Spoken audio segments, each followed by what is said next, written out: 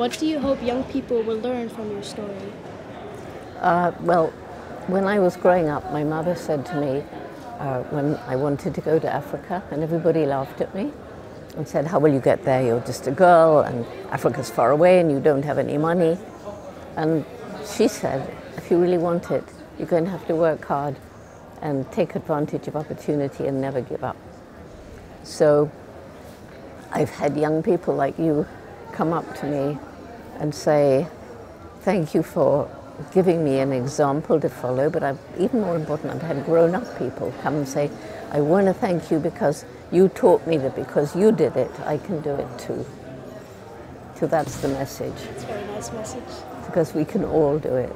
What's the most important things we can do for our environment? environment? Well, we can probably all do a little bit different depending where we live and things, but basically, if we understand that every single day that you live, or I live, or any of us live, every single day we make choices, don't we? What we eat, what we wear, how we interact with uh, the people we meet or the animals. And if we start thinking, well, how was this thing made? Did it harm the environment? Did it involve cruelty to animals? Um, is it cheap because of child slave labor? And you start finding out about those things. If millions of people around the world make ethical choices, even little choices, can you see how that will change the world?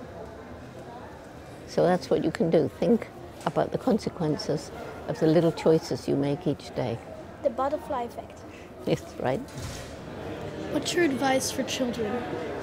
My advice for children is to get involved in roots and shoots or something similar and just do something to make the world a better place. So that at the end of every day you can ask yourself, well, did, did, did I do anything that made the world better or perhaps made it worse? Or did I just not even bother to think about it? And if you could, would you like to be our age now? Mm, not really. I don't think so. Why not? Well, growing up, it's, I don't know, I think I, I had enough growing up. I think what I'm doing now is something I'm meant to be doing. And I couldn't do it if I was your age. So what I like doing is being with you at your age and talking about what you think and what your future is and what you can do to make a difference. And if I had a magic stick and I could make you wish something, what would you wish? I'd wish that we could have a critical mass, you know what that is? A tipping point of young people who grow up understanding that, yes, we need money to live, but it goes wrong when we live for money.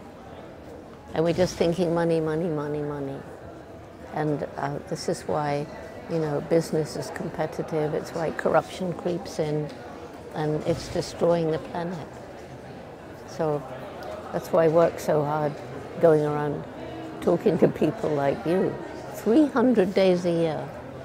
In your life, you did many things different, a different way than other normal people did. So, do you think I we mean, should? I'm uh, abnormal. so, um, do you think we should like follow the rules or do things our own way? Well, it depends. I think some rules really we need to follow. It, it- honestly, you can't just make a blanket statement.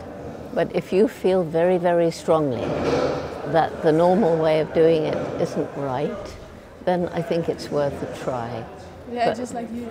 Yeah, but my mother always used to say to me, she was very wise, my mother, and she would say, if you meet somebody who thinks differently from you, or if you find people doing something in a way that you don't think they should do it, first thing you must do is listen to them, because maybe they've got some points that you never thought of.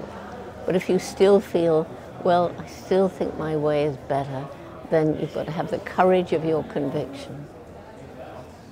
But be wise about it. Children are more positive about life and our world than adults. Are they? You're telling me I'm not positive about them? Come on, what's the rest of the question? Are you more positive or negative? I'm totally positive. And I'm totally positive because I believe in all of you young people. And I believe that when you know what the problems are, and we listen to you and we help you to take action or empower you to take action, you're changing the world. You're definitely changing the world.